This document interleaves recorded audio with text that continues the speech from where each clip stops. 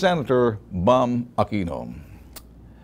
Alam mo, Senator Bam, ang paninindigan, kung ang paninindigan mo ay para sa Diyos, at sa pamamagitan ng pagtuturo, ito ho'y ng Ebanghelyo o mga salita ng Diyos walang kinalaman sa politika.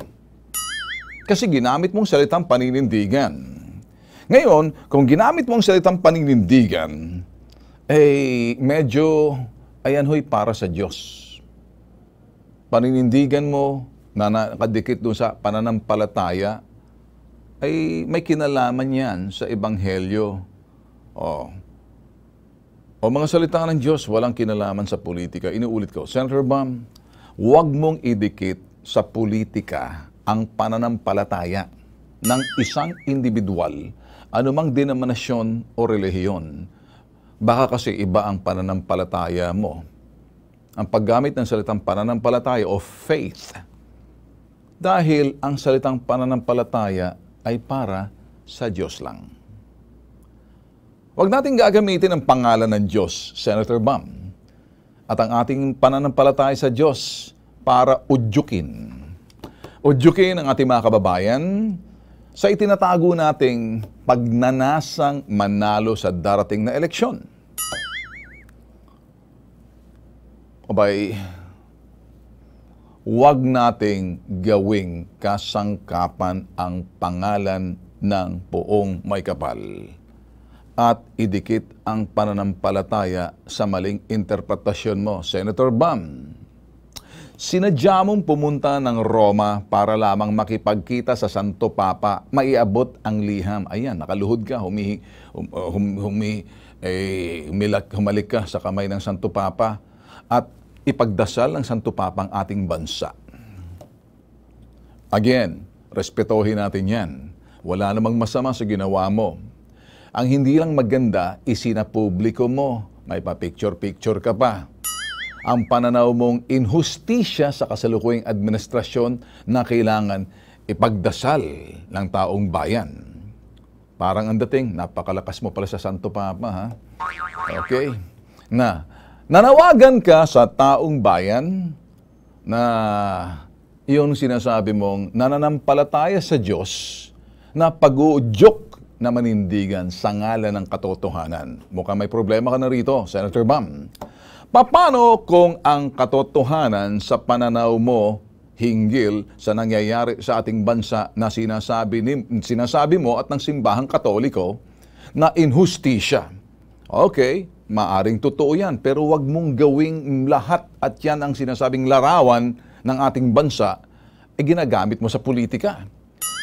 At tanong, kung ang katotohanan at pananaw mo, Senator Bam, at mga dilawang nakapareho, mga dilawan nakapareho mong iba dyan sa mga dilawan, nakablend in na sa kasalukuyang administrasyon, ay hindi tumugma sa pananaw ng karamihan.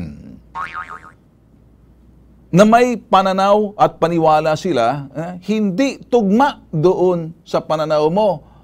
Ah, pananaw mo, paniwala mo, sa kasalukuyang administrasyon, hindi tutugma sa pananaw ng karamihan. May, may, may problema ka rito. Huwag mong udyukin ang mga taong sa pananaw mo at sa uri ng pananampalataya sa Diyos na hamunin mo sila na manindigan. Pananaw mo yan eh. At uri ng iyong pananampalataya hindi magkatugma sa pananampalataya ng iba. Magkaiba bam? Huwag mong lahatin, magmumukha kang eng-eng eh. Iba-ibang relihiyon, iba-ibang pananampalataya, iba-ibang doktrina.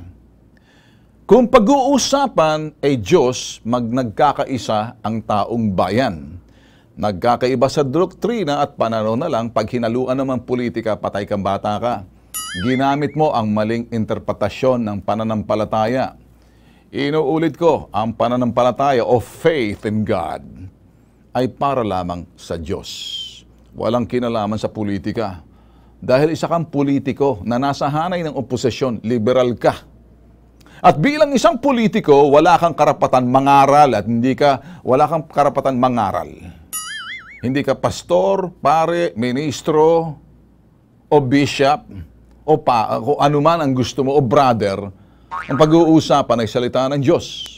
mali ang interpretasyon mo, mali ang paggamit mo ng mga salita ng Diyos na dinidikit mo. Uulitin ko, walang masama kung ikay nagsadya pumuntang ng pumunta ng Roma.